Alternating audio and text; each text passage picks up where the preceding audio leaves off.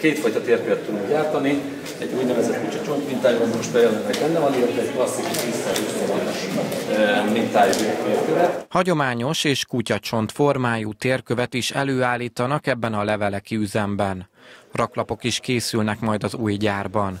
Ezeket magánemberek és helyi, illetve környékbeli vállalkozások vásárolhatják meg. A cél az, hogy erősödjön a térség gazdasága, az önkormányzat értékteremtő munkát adjon a közfoglalkoztatottaknak, és idővel tovább fejlesz az üzemet. A megépült gyár egy olyan beruházás, amely egyedi abból a szempontból, hogy egy termelő, piacképes gazdasági tevékenység kezdődhet el önkormányzati keretek között. Reményeink és céljaink szerint a jövőben ez egy sikeres és nyereséges vállalkozása lehet Levelek Nagyközség önkormányzatának, mely a kötelező foglalkoztatáson túlmutató munkahelyteremtéssel, eredményeivel hozzájárul a település fejlődéséhez. Még hosszú és megpróbáltatásokkal teli útát előttünk, és kitartó munkára lesz szükségünk ahhoz, hogy mindezt elérjük, de elkötelezettek vagyunk a beruházás eredményes és hatékony működtetése terén, és bízunk abban, hogy a kapott lehetőséggel élni tudunk. Román István kormány megbízott arról szólt, a kormány célja, hogy egyformán kezelje a fővárost és a vidéket.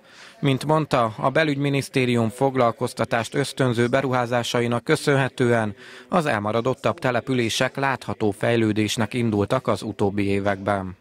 Ennek a programnak a támogatása mögött az a kormányzati filozófia van, amely túlál Budapest határain, amely észrevette, hogy a vidéki Magyarország is élni akar, és hogy a vidéki Magyarországnak van szándéka, van akarata és van igyekezete arra, hogy olyan életminőséget teremtsen, itt leveleken, nyilvánvalóan ki hol él, olyan életminőséget teremtsen, eh, amely magasabb életminőség, mint amire korábban lehetőség volt.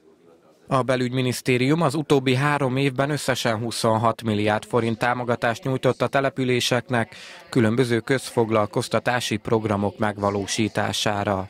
Mint azt Réti Pál, a tárca helyettes államtitkára elmondta, Szabolcs-Szatmár Bereg megyének ezen a területen fejlődnia kellett, az önkormányzatok azonban élnek a lehetőségekkel.